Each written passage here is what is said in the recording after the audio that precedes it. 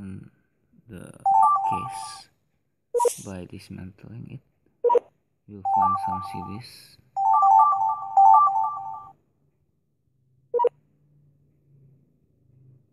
get the ruler. Use it to reach the item under the cabinet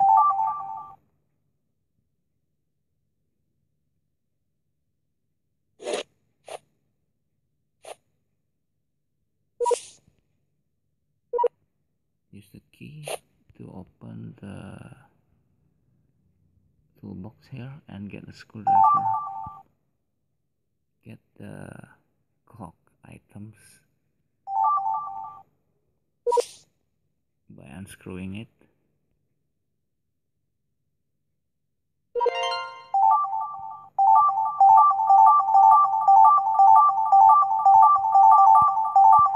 Okay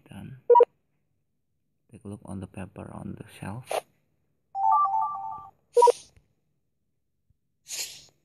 The key is piece of the wall clock. It's the numbers.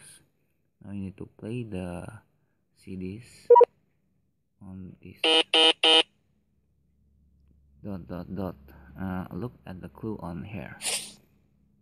You need to find the correct sound which is dash or dot.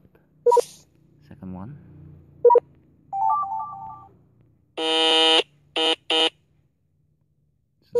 Dot dot.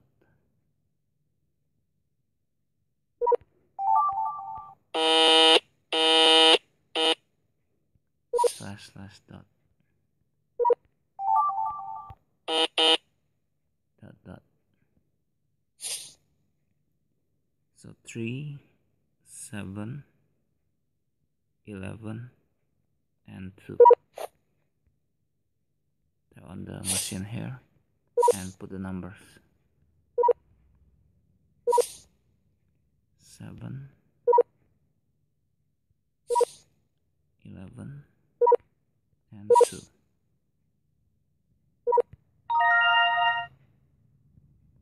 open the door and skip Bye.